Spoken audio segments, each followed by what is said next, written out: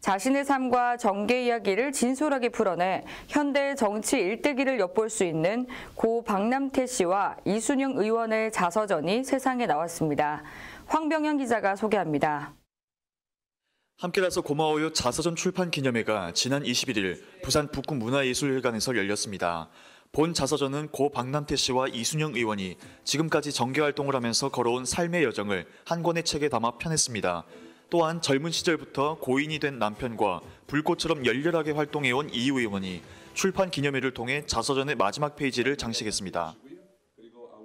이렇게 많은 분들의 축하를 받고 보니 이 축하는 제게 보내는 축하인과 동시에 함께하고 계시는 많은 분들의 마음 마음들이 모여서 더 나은 세상을 만들어 보자는 희망의 자리인 것 같기도 합니다. 힘이 납니다. 힘내겠습니다.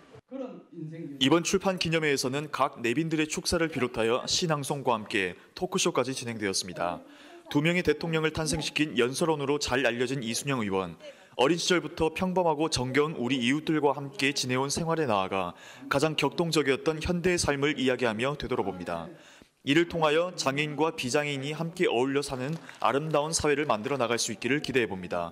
지금까지 복지TV 부산방송 황병양입니다.